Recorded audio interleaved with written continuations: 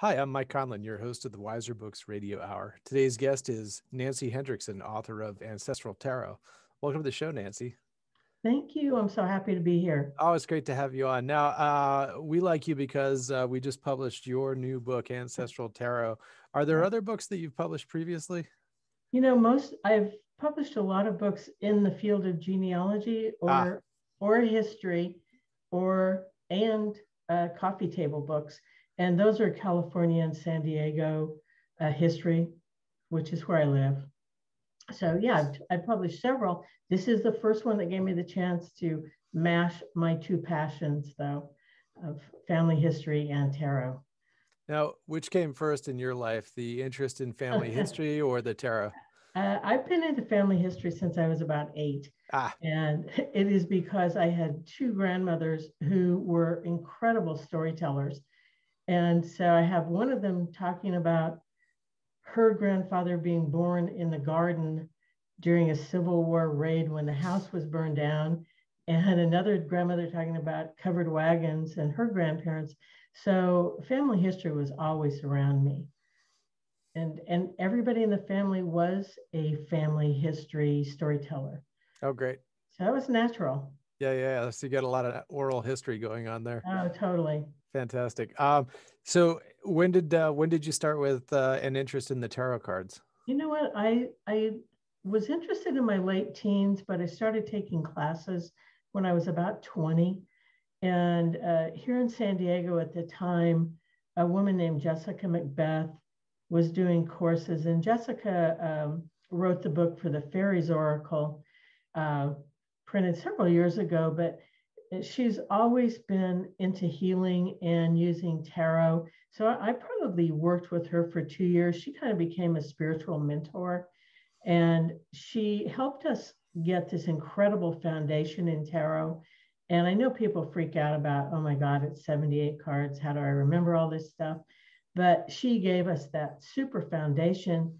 But then she wanted us also to be intuitive. So sometimes she would be tricky and say, We're not going to read tarot tonight. We're going to read chocolate chip cookies.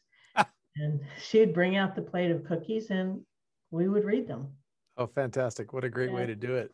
Uh, so uh, you got tarot, you got the uh, the the familial interest in uh, yeah. familial history. Um, how did those two come together in your life? You know, I I've always been able to talk to the ancestors which means I can ask questions and I can hear the answers. But I realized that tarot was a really easy portal into the ancestral realm.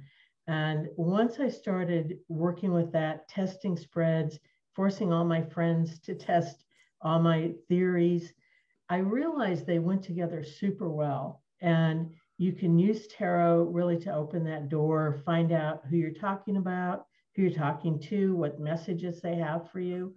Uh, so it was a it was actually a really easy fit. Got it.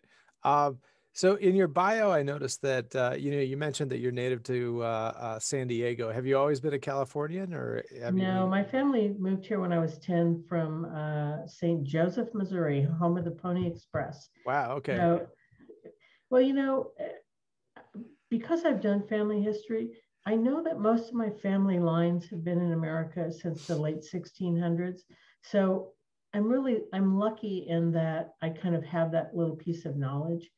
But uh, growing up in until I was 10 in a place that was, that really, you know, Pony Express, Pony Express, you're surrounded by this Pony Express history.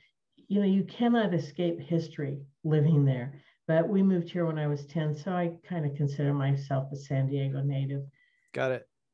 Uh, where I was going with this is uh, in your bio, I noticed that uh, you're also very interested in uh, petroglyphs of the Southwest, uh, oh. kind of the the native imagery, and uh, the the obvious question that popped up in my head is, you know, when you're looking at the tarot, you're looking at a lot of very archetypal images. Sure. Um, do you see crossover between uh, petroglyphs and tarot imagery uh, that you don't have to force? You know, kind of oh, like ab- oh, absolutely. You know, I, I am I'm kind of a petroglyph collector in that I travel the Southwest a lot and I go to places with petroglyphs. And if you stand on a cliff, on a trail by a cliff, cliff face, and just put your hand up on that rock face and realize that, you know, hundreds of years ago, pre Columbus, somebody was standing there chipping off that symbol of the deer or the sun or uh, a wavy line for water.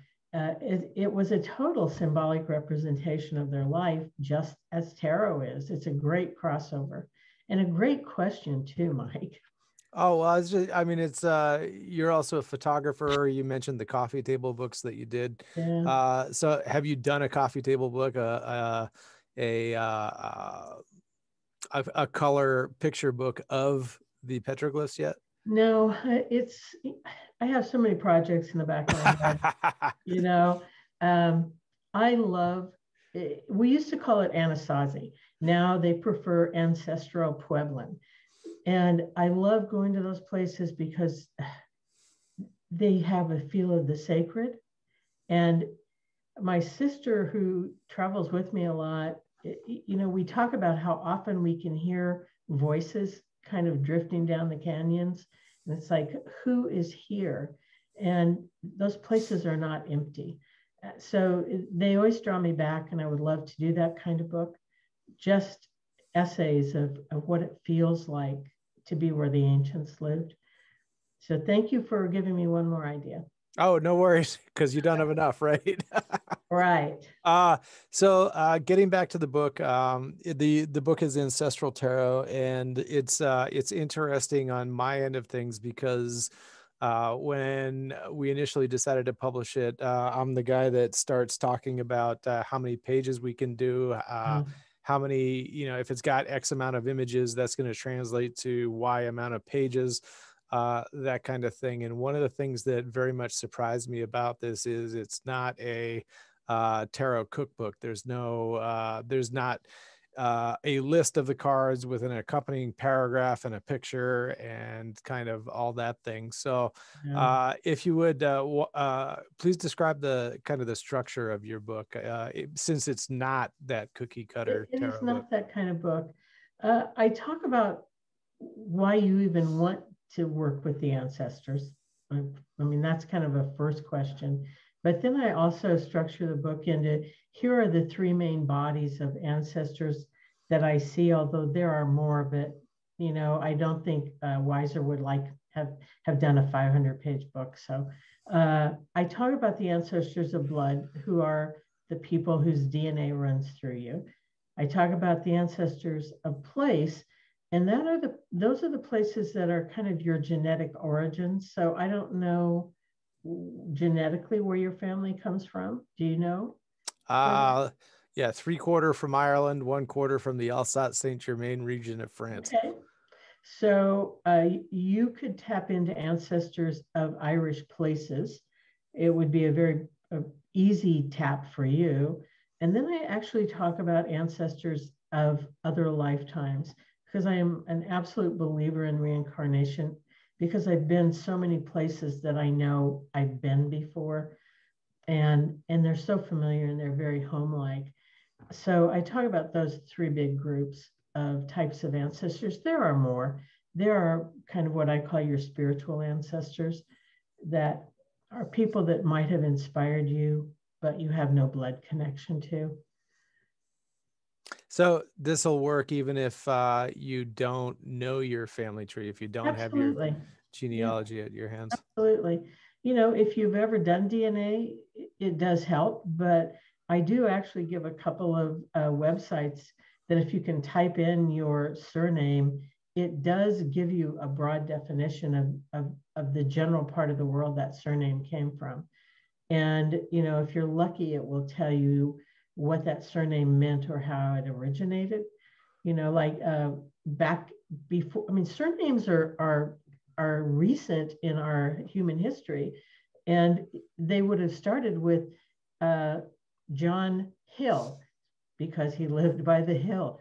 John River, John Snow. He had he was pale and had light hair. So, you know, you can find out those kinds of origins. So pretty interesting. Absolutely. Uh, I was, you know, when I was younger, I was always fascinated that uh, to learn in what a Cooper was, you know, somebody oh, the barrel guy. The barrel guy, yeah, yeah, yeah, yeah. And, and things like that. So that's that's interesting. Um, and, and you know, people though they really did. The, people, there's this myth that at Ellis Island they change people's names. That's really a myth. But what is true is a lot of people from Eastern Europe shortened their name just because they were fairly hard to pronounce. So it was the people who made those name changes, which makes it a little hard to trace them because right. you're not sure. And in my family, they they would sometimes call themselves Hendrickson, sometimes Hendricks, and they drop the S-O-N. I don't know why, and but it makes it harder. It makes it harder to find them because you don't know if you're looking for a Scandinavian or somebody from England. So right. two very different names. Yeah, absolutely. Uh, we were out in Seattle recently and visited the uh, the grave of Jimi Hendrix. Uh, oh any, yeah. Any relation? No, no relation to Jimi. Sorry. All right. Uh, so let's see. Um, when you're talking about ancestors, uh, you know, in, in my mind, I hear the word ancestor. I think some, you know, seventh, eighth, thirteenth generation removed. Um, how how how does uh, recent relatives, recent uh, family members, even who have passed on, figure into all this? You know, I, I think there are two paths, and one is the the recent family member who made your life a living hell, and you were happy to see them go, and the family member who you miss acutely, and you can. I talk a lot about kind of family patterns and how both the positive side and the dysfunctional side of families tend to come down through generations. So let's say that through your generation was somebody who was passive aggressive towards you or belittled you or whatever. Now that they're in spirit, you have a choice. Do you want to work with them? Maybe, maybe not. Maybe 10 years from now you do. I don't know. But I, I, give an example in my book of one of my grandmothers that I did not get along that well with. And when I worked through the things on the book, through the, the exercises, I really understood her better. And it was healing for me. It was not, oh, I, I, I forgive you, Grandma. That didn't come into it. What came in was, I understand you so much better and why our relationship was difficult. It was incredibly healing for me. And on the other side of that path is somebody like my mom, who I was so close to. And it gave me a chance to draw cards and say, Are you okay? Will I see you again? And that was healing for me as well. So it doesn't really matter how close or how not close they are. There's either some kind of healing or some kind of understanding that comes down. So, do you get to choose which ancestors you're working with, or do they choose you? Know you? I, I love I love that question because I think, wow, I'd like to know that guy. Come on down, guy. And I don't think it works that way. you know, I think that when people pass in the spirit, they have their own path to walk, and they either want to come work with me or they're off doing their own path. One of my grandmothers, the other grandmother, I always have this sense of her that she went to some super post grad school somewhere in spirit. I've never had a sense of her at all. And yet, uh, my mom, I feel around me all the time. Uh, I think we can request, you know, I would really like to meet so and so if if you want to be here with me, let me know, and I'll I'll draw cards to see what I can find out. Uh, and, and sometimes the answer is no. So no, you don't always get who you want. So what do you do? I mean, you're familiar with your genealogy. Can you use the cards to ascertain who you're talking with? Yeah, you know, I you can And this is what I do. And this this is the cards and a pendulum. And I, I love working with ancestors with this specific intent. And in this past week, I said, I want to talk to an ancestor who can help me answer a health issue. So I got out the pendulum. I, well, first I flipped a card. I got the Knight of Swords. I thought, okay, somebody who's really mental, who's who always keeps learning. So I, I knew that. I got the pendulum and I said, did this person live in the 21st century? No. Did this person live in the 20th century? Yes. So I would have gone backwards through centuries until I got fairly close to where they were. I may never know their name, but I will know something about them. And I've said this um, when I was doing a presentation last week. I actually will pull up a map on on my iPad and use the pendulum to try and hone into a specific locality because I, I I'm practical. I, I, I want the practical info, and those are the techniques I use. Got it. So it's not uh, it's not quite just one technique. It's oh many. Uh, many uh, whatever you got at your disposal.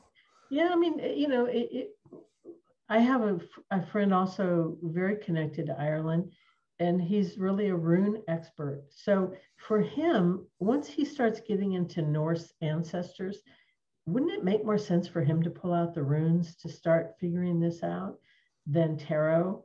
So I think you use whatever tool you feel works for your particular situation. It's it isn't cookie cutter work. Right. Um, so you, in your book, you talk about ancestral patterns. Um, can you just uh, uh, kind of delve into that just a little bit? Sure. You know, there are many. I'll, I'll say that. And I hate. I'm not picking on Ireland, but it's a good. it's a good example. Let's say. Um, okay, I have a friend whose husband grew up in a family that always said, "We can't afford anything. We can't afford this. We can't afford that." Well, their daughter got accepted to UCLA, which is hard to get into and it's not cheap. And his first reaction was, we can't afford that. And his background is Irish. That is that is his genealogy. And I said, you know, look, Wayne, eh, when your Irish ancestors came to America during the potato famine, they were penniless. Every every penny counted. So unfortunately, that lack kind of came down through generations. It started in a very practical, reasonable way, but you know, by the time it's gotten down here to the 21st century, it, it doesn't work that well anymore. Right. So that's that's that lack is a pattern, or that worldview. The world is a dangerous place. Fill in this blank. XYZ people can't be trusted you can't travel. It's it's not safe for a girl to travel. I I went to um, I went to Alaska when I was 15, and I washed dishes on a boat. And I was telling this to a young friend of mine, and she said, My parents would never let me do that at age 15. And, but m- my family did not have the worldview that the world was a horrible place, and hers did. So those patterns do come down through generations. It's good to understand where they started. Right, right. And what an experience that must have been. Uh, it was a wonderful experience. I bet it. Was, I bet it was an education too. it was an education, and uh, it was you know give a 15 year old the freedom to uh, go to Alaska and wash dishes on a boat for the summer. Oh my God, yeah. well, thanks for sharing that. That's amazing. Um, so, uh, in, in, the book, you make a distinction, or, or well, I, I actually don't know. Uh, I've got this canned question here: Is there a difference between spirit guides and ancestors? You know what? I, I, I have been asked that. If you think there is, there is. Okay. I think ancestors can be spirit guides. I don't think spirit guides are necessarily ancestors, though. Uh, you know, if if if an ancestor is with you every day for all of your life, are they a spirit guide? I, I guess it comes down to how you define that. Uh, I just, I, I tend to, as things happen that are kind of magical and mysterious, I attribute them to ancestral help. And I think some people would call them angels or spirit guides. So that's just my take. Got it. Now, you talk about uh, ancestors of place, ancestors of time, as mm-hmm. opposed to uh, kind of ancestors of blood. Mm-hmm. Um, when you're dealing with ancestors which are related to a place or a time, uh, could they be somebody else's ancestors that you're tapping into? Absolutely. I, I feel, let me backtrack a second. I think when you do ancestral work, you start with an intent. It's like when I when I said my intent is to have an ancestor come help me with this issue. I think you start with an intent and let's say that the ancestor that wants to come in was your 15 times great grandfather best friend. I don't know who that person is. So yeah, I, and that's what I'm kind of calling your spiritual ancestor. Maybe somebody that you have no blood connection to. Maybe you didn't even spend a lifetime with them. I don't know. But if they have the skill or the knowledge that I'm asking for, I welcome them and, and I don't know if that answers your question, and I can't prove that to be true or not true. And as I say, when I meet everyone on the other side, we'll we'll find out for sure. We'll huh? figure it out at that point, right? we will. We will. Uh, so uh, uh, let's see. I'm uh, all of a sudden I drew a complete blank. Okay, so uh, That's you. Okay, I, do that all the time. I know, right? It's like there, there's so much, there's so much stuff to unpack in this book here. Uh, the you've got a number of spreads. You start out with, I believe, the uh, uh, the the journey spread, the journey spread, and yeah. then uh, it seems like for every lesson, uh, for every chapter, for every lesson that you're coming across with, there's uh, there's a different spread. Some of them are familiar, like a three card spread. Right. Um, the uh, the the journey spread uh, has seven cards uh, arranged uh, uh, horizontally, horizontally rather than vertically, and right. um, you've got this uh, one mandala spread, which looks like a, a cross spread on steroids. It is. Um, so it is. I, I, guess you know, and, and, it's fine. Um, you know for uh for people to r- run across these in the book but i'm wondering how how did you come up with these and uh yeah well how did how did you come up with these and and how did they per, pertain to each kind of chapter or chapter. lesson that you're coming across with you know i did a lot of uh number one i pay attention to my intuition and if it feels like five cards then it's five cards and I try and make the questions be salient to whatever I'm talking about. So that's that's kind of the, the foundation of it. But I do a lot of beta testing. You know, I don't just say, yeah, it's me, Nancy, saying, yeah, this is true, this works. I, I get it out to a lot of people and take feedback and I change I will change spreads depending on the feedback I get. But uh, the mandala spread that you mentioned, that was simply I wanted to be able to compare all of my stuff with one of my grandfathers.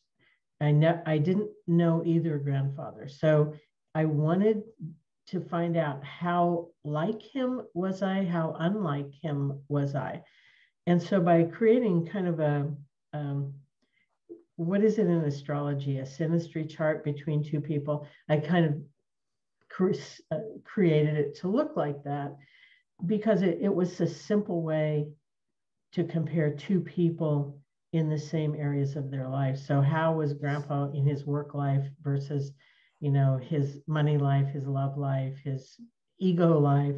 Um, it was, it was, that one was just because I love astrology. Um, it, it seemed to work, seemed to work really well. And it was a good thing for me to do because it, it gave me an intro to somebody I did not know. And it showed me how unalike we were. And since I've done that spread and worked with him, he's the one who's constantly nagging take a day off, take a day off, take a day off. Because I, I had asked uh, my mom years ago, so what was he like? And she said, he was a joker, he was a flashy dresser, he loved not working. And so it, it, made sense that that's what was coming through for me. And it, it, it this sounds kind of silly, but it's true. It has helped me temper my workaholicism and to try and actually blend more downtime. And because sitting in a chair and reading somehow feels wrong to me because I'm not working. So I'm getting much better at that. And I, I think that's because of the working with that grandfather. Great. Uh, and it did not answer your question about the spreads, but I think it kind of did. It, it, does in a roundabout manner. I mean, yeah. uh, so so essentially, you know, I mean, people can work through the spreads that you offer in this book, but probably once they're done with that, uh, they're branching out and doing their own spreads for whatever situation. Oh, I hope so. Yeah, yeah, yeah. Good. Yeah, I absolutely good. hope so. Now, of course, do, go ahead. I do talk. I do talk very briefly about creating your own spreads and how they look, and they don't always have to be linear. They can be helter skelter. If that issue for you is very jarring and helter skelter toss those cards in the air, see where they land. Uh, you know, I, I have no problem doing that. And I hope people will go ahead and create their own spreads. Great. Um, now, in the book, we very unimaginatively illustrated with the Rider Waite Smith deck. Yeah, we did. Um, uh, which is kind of our go-to. Uh, it's something that we can toss into a book without right dealing with rights issues and whatnot. Uh, right. So it's it's kind of an out on our end. But in the beginning of the book, you talk about uh, quite a few other decks. I know that uh, on your website you've got a blog post about that, and uh, right. For people who aren't seeing the the the video image on the screen right now. Uh, we chatted about the deck that you've got set up in your background, which is uh, a deck called the the Relative Tarot by Carrie Paris. Um, talk to me about uh, the different decks that you would suggest people use for uh, ancestral work you know i think it depends on your age and your culture and your comfort level so if you live in the uk you're you're very fortunate in that you have so many uk celtic based decks that because that's the culture you grew up in it's probably really familiar to you like I love uh, the Druidcraft and the Wildwood, but there are image images I don't relate to because I don't know their I don't know their history as well as I know our history. So uh, culturally, the Hoodoo Tarot is an African American tarot that I've just started working with. If I were African American, I would probably be very drawn to that deck because it, it really does reflect daily life, not just today, but kind of through the continuum of time of African Americans in America.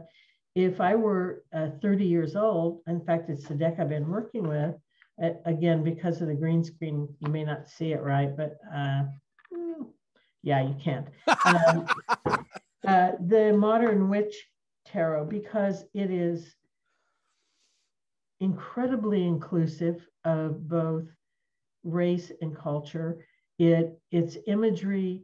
Uh, the I'll give you a quick example. The fool, as we all know, is is a guy with his dog getting ready to walk off the cliff. Well, in the modern witch tarot, she has her i her iPhone, i you know, earpads earpods in, and she's listening to music, and it it just is so reflective and instead of a, in the Eight of Pentacles, instead of a workman at a bench, it's an artist with her iPad drawing on her iPad, which I love because it, it does reflect today. And, you know, I'm sure, I don't, I don't know based on the work you do with Weiser, I don't know, I'm sure you've heard of all the, the diversity issues in tarot decks. And, you know, it is kind of a big issue and I get it. You know, I don't want a deck that's just a bunch of, of white people. It sounds terrible, but I don't want I don't want that deck. I don't want just a specific culture because I don't relate to it. I live here on the border with Mexico. I could not get through a day of my life without working, seeing, talking to Hispanics or Asians. it, that's just part of my life. And I want to see them in a tarot deck. Yeah, we just did uh, Shaheen Miro's uncommon tarot and it's uh the the have, images are yeah yeah yeah good i have that deck yeah the images the images are pretty straight you know if if if you hadn't already had one i would have had to send you one so but thank you for purchasing it i you're very welcome you're very welcome i have that i do have that it, it's well i like collage decks personally yeah. because they they give you so much to look at yeah, absolutely. I, I know that uh, uh, uh, prior to the show, we were talking kind of the uh, the nuts and bolts of package production for tarot mm-hmm. cards, and you showed me another one we did, uh, uh, Arthur Taussig's The Al- Alchemical Visions Tarot. Right. Um, which is another one that uh, uh, I'm not sure it's as diverse as Shaheen Miro's, but uh, certainly it's it's not it's not simply white guys. It's it's a very Jungian approach to tarot. And if you are a longtime tarot reader, you actually are not going to recognize the imagery as, as being, quote, tarot. But it really, if you do dream work or tarot journaling, uh, there's so much to dig into with every one of those cards. It's it is amazing. So I'm wondering, uh, you know, I, I hate to get off on a tangent, but I love getting off on a tangent. That's great. Um, Me too with uh with the the alchemical visions tarot i mean when we were making that the cards are very much oversized uh they're yes. on thick stock it's not particularly a deck you would want to uh work with by hand and shuffle and kind of all the the usual things that you would do with a tarot deck uh and we made it because we assumed uh per uh per the author's kind of understanding of it that people would pretty much dwell, you know, draw a card and dwell on that card. Um, do you find yourself using it that way, or do you find yourself using it kind of more as a regular tarot and doing spreads with it? Uh, I actually, uh, it's it's really interesting you brought this up because I had this very conversation with two other tarot friends, and I I took the deck with me one evening, and and we were looking through it, and and we were saying how did he interpret the, how did he how did he do that how did he interpret this card this way and we all decided it is not something to read as normal tarot. It's it just does not lend itself. But if you as i said if you do dream work or journaling pull one card out and you will be shocked through the course of the day how much you see in that card because it's packed with imagery. Well you know you worked on it. It's absolutely packed. Yeah, yeah, yeah. That's another one um, where I've got a press sheet kicking around, and it's it's actually overwhelming. You know, it's like all those images all at once. Um, it's hard to focus on just one, and uh, certainly when you're looking at them in totality, it's amazing what pops out when you're almost least expecting it. Absolutely, and um, even if it were normal tarot, just because of the size, right? it would be hard. It, let's say you were a reader somewhere, it would be hard to use that deck because you could only do probably three cards on your little reading table. Right, right, right, right. You're going to run out of space. you but, need a kitchen table. well, you know, but if you're if you are into Jungian type of psychology, it's it's a deck for you. Oh yeah, for sure, for sure it is. Uh, what other decks do you use? We we mentioned the relative tarot. Uh, I do. I I like the Modern Witch. Uh, I like the Radiant Rider Waite, but I use so many different ones, and it, this might be because of my love of of Native American culture. I love the Vision Quest Tarot, which which has been around for a long time, and because of my age, you know, I kind of grew up in the space age. I have a it's called Star Maidens Tarot. It was made in Germany. Totally pop culture imagery. I, I love that deck. Um, you know, it's tucked away. I'll never get rid of it. Uh, it's very hard to find. So I I pop around. It just depends on what I feel like reading. It sounds like your guilty pleasure deck. It is a guilty pleasure deck, and it's beautiful. and part of it too, I think, is is who I might be reading for you know, there are some decks. Um, I think relative tarot, because you've worked with it, you know what it looks like. It's a very um, if somebody's emotionally vulnerable, it is not going to be an in your face, I'm going to make you uncomfortable deck. It's it's it's it's it's familial. So it's easy to work with. Also the inner child deck, it's all based on fairy tales. And so you're you're going to see like Robin Hood and you're going to see the Tin Man from the Wizard of Oz. Those are wonderful decks. Uh, I gave one to uh, one of my nieces or nephew when they were really little. They loved all the all the colors, but it's a great deck for relationship readings because, and I know now I'm really on a tangent because relationship issues I think are very childhood based, and so why not use a fairy tale deck? It, it, it's just it works for me. So uh, yeah, to answer your question, I am embarrassed to tell you I have several drawers full of decks and. Uh, I go from one to the other. Okay, great. I've got to, I've got a wall of decks behind me. Oh, okay. Right over there. I see um, it. Okay. But it's uh it's more packaging reference than anything that I use on a regular basis, I'm ashamed to say. But you know what? Packaging makes a difference though. Sure does, sure does. It, it, at least in my world, uh, uh, it, it really does. Um, well, in um, my world too. If I don't like the picture on the package, I probably won't buy the deck. Wow. All right or the book. Right, right. To be honest with you. For sure. Uh, how'd we do on your cover? You know, the very first go, I said, this looks kind of like a genealogy book because genealogy books will, uh, yeah, I know. I know. I know. Uh, anyway, I have actually come to love it because I've had such good feedback.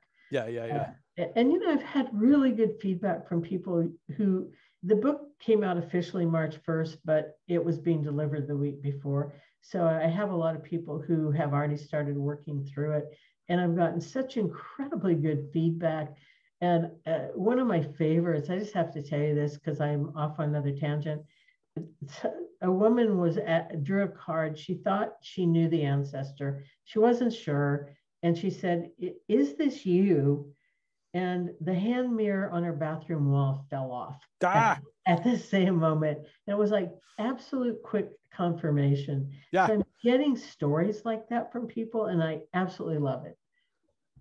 So, uh, when when you you mentioned doing readings for others, uh, you know, the ancestral tarot book, as far as as, as I got into it, seems to be more about doing this for yourself, uh, which I, I think agree. is how a lot of people do do you do ancestral readings for other people? I do when I have time and I'm not up against a deadline. Yes. Right. But right, right. yes, and you know, in fact, on Instagram on Halloween, uh, which is right butts right up against Day of the Dead and all other All Souls Day, All Saints Day, you know, they all come together at the same time on Halloween, a friend and I did an Instagram live, and we went almost two hours just giving ancestral messages to people. I loved it. And it was just, I didn't think it was ever going to end because there were so many people. And Mike, I shuffled the cards so much the next day, my thumbs hurt. I couldn't, I guess like I couldn't move my thumbs, but I loved giving those ancestral messages because they were so meaningful to people. Good. And, and a lot of the questions were from people who had lost their parents or a child. And, you know, do they have anything to say to me? So it was really moving to be able to, to pass along those messages. That's got to be a fairly common request on your end, I imagine. It is. It is. It's, and the ones, uh, people who've lost children, I think are hard. Uh, just uh, those are the tough ones, I think. Yeah, absolutely, absolutely. Uh, all right. Uh, what have I not asked you about your book that you want to get across to people? Well, I, maybe why why do you care about working with ancestors? Yeah, absolutely. Okay. Okay. Fair question. Yep. Um, once you have a sense of all these literally millions of ancestors. And I, I tell people this that if you go back 500 years, you have more than 1 million direct ancestors. That's only 500 years. That's nothing. That's a blink of an eye. Uh, so once you have this sense of all these people who love and support you, because most of them do, I think it just gives you this massive sense of strength and power because you are descended from warriors and you are descended from survivors. And if that doesn't make you feel strong inside yourself, I'm not sure what would. So for me, that's part of it for me is I can't tell you how strong that makes me feel. And no matter what comes down the road, I know that I'll survive it and I'll be okay. And that's because I feel all those people behind me. So let me ask you this. It just suddenly occurred to me to uh, to ask this. Uh, a lot of people are into past life, past life regressions. Yeah. Um, is there a substantive difference and doesn't even matter uh, if you are keying in with an ancestor versus perhaps a past life self? Or a or an ancestor in a past life. Right right right. Uh, no i don't think so. And I, I, don't know have you and i've turned the tables on you. Uh, have you ever had a sense of a past life? Yes. And when you talk about ancestral patterns uh, i've also experienced that. Um, unfortunately, it usually involves uh, a farmer or peasant type at the uh, business end of a spear or sharp, pointy weapon of war. But uh, that's the sense I got. Um, you know, for what it's worth, you know, over a course of many lifetimes. well, but yeah, I get that. But you, going back to Ireland, there are certain cultural expectations of somebody who's Irish. And I don't know if that comes down to you, but to the outside world, you know, it's, oh, Irish, they love to have wakes and drink and have a hell of a party on St. Patrick's Day. I mean, I'm generalizing in, in their silly generalizations, but I think there are kind of cultural expectations that most people carry and I don't know if that's true for you. Well, it is. I mean, uh, the, uh, uh, I tried my hardest with the drinking thing, but that didn't quite work out. So here I am today. Uh, but no, I mean, it's interesting because we went out to, uh, I've been over to Ireland a couple of times, and it's just amazing how familiar it feels and it's not just the places that I would have seen in you know a tourist book or right. uh, a coffee table book or a movie or anything like that. It's uh, a lot of the more pastoral places that you know quite frankly would rate as quite boring um, to most people. Um, just the landscape, uh, the seasonality, the uh, you know even just the uh, the weather and whatnot, all that just uh, uh, does does have a familiarity to it to me that you know I don't get in other places. And that's the feeling I get sitting in an ancestral Puebloan ruins in the Southwest.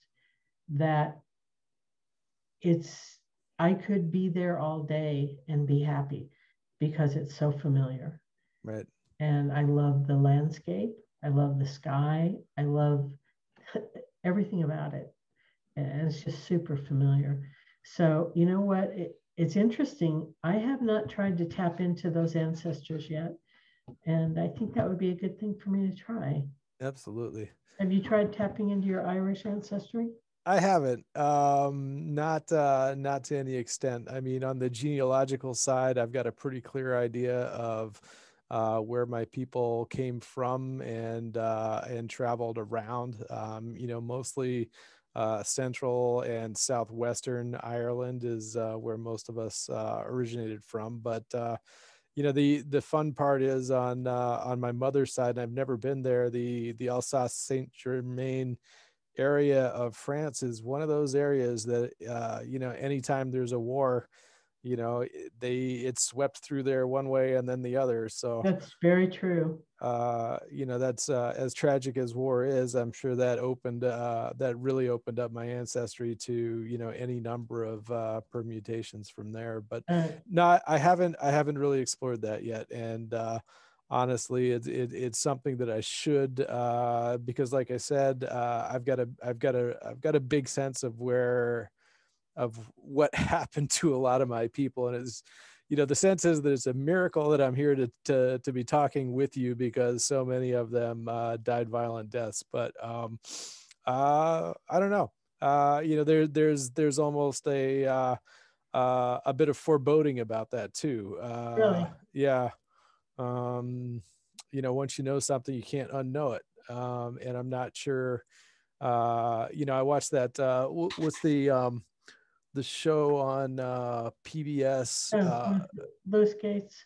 Yeah, yeah, yeah, yeah. That's the one where they they go back and uh, you know go back through your family tree, and right.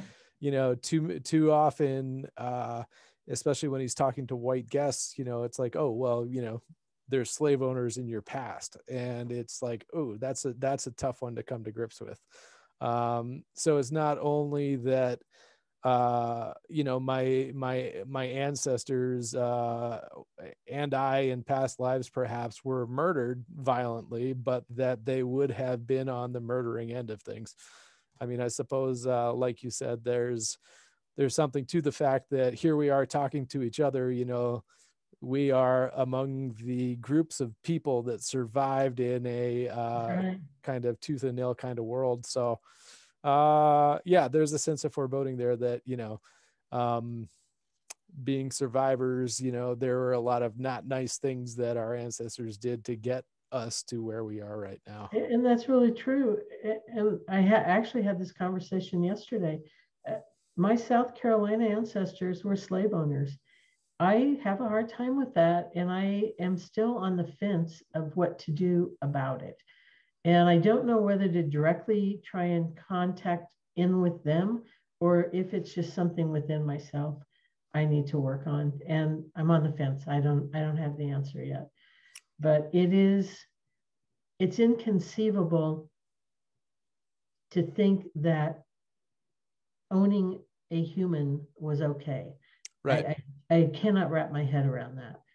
And um, and then I know logically that African Americans were not seen as humans.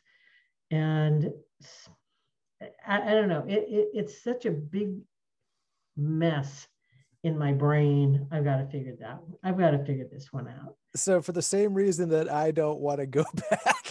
yeah. I mean, uh, you know, that's got to be about the same thing on your end. You know, how do you confront that, and what do you do with that yeah. information? What do you do with it? Yeah, yeah. I mean, we've got we've got books on confronting the dark side. I know that uh, uh, that's a big part of uh, Jungian work. Um, but boy, that's uh, it's intimidating to approach. That's for sure. It is, but you know what? I have great faith in pulling out this tarot deck and seeing if I can tap in and and maybe I'll find out nothing. Right. I don't know. Right. Maybe you will find out nothing. I don't Correct. Who knows? Oh my goodness. Well, Nancy, this has been uh, uh a fantastic uh, interview to uh, be doing with you. I've really enjoyed my time with you. And, oh, me too. Thank you. you know, best of all, you've uh, you've really got me thinking. all right, uh, Nancy. If if people want to find you online in the internet and in the ether, because we're all still basically locked up due to COVID. Um, yeah, we where, are. Where do they go to find you, and uh, uh, what do they find online when they're looking for you? You know what? They can go to my website, which is sageandshadow.com. But where I am most active is Instagram. I'm on Instagram a lot, and my handle is Nancy Sage Shadow. And I post on there at least a few times every day. I do Instagram lives uh, get on talk about various tarot topics. Or one of my favorites is to interview people who have a very different cultural background than my own, so we can kind of compare how it was growing up um, in an Irish household, in an Italian household, in a Jewish household. I, I find those are great conversations. So Nancy Sage Shadow on Instagram. All right, perfect. Thanks so t- thanks so much for spending time with us. Oh, Nancy. thank you. It's been great. You've been listening to the Weiser Books Radio Hour. Find us online at www.weiserbooks.com.